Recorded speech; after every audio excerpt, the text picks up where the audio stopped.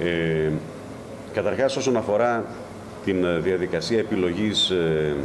καινούριο επικεφαλής, αν υπάρξει καινούριος επικεφαλής, ε, θα ξέρετε όλοι ότι είχαμε αποφασίσει να γίνουν οι διαδικασίες τα Χριστούγεννα του 2018 προς 19. Καταλήξαμε όμως οι, οι αιρετοί ότι αυτό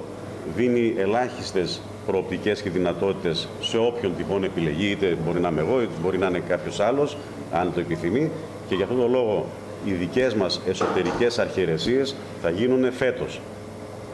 το αργότερο τα Χριστούγεννα του 2017, για να υπάρχει περιθώριο χρόνου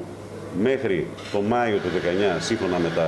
μέχρι τώρα τέλος πάντων νομοθετημένα, να γίνουν οι εκλογές με επικεφαλής παράταξης που θα έχει οργανώσει την παράταξη πολύ καλά, ε,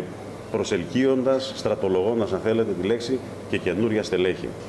Όσον αφορά τώρα τη συνεργασία με άλλες παρατάξεις, ποτέ δεν έχουμε πει όχι στη συνεργασία με άλλες παρατάξεις. Ποτέ δεν έχουμε πει όχι στην προσχώρηση καβαλιωτών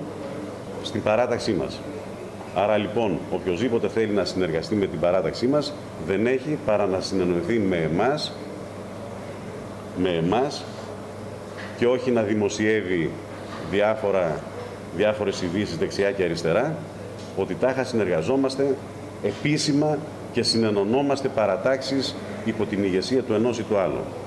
Τέτοιο ενδεχόμενο προς το παρόν δεν υπάρχει.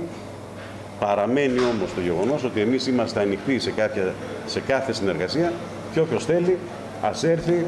να διαμορφώσουμε μαζί το μέλλον της Καβάλας με την παράταξη που έχουμε.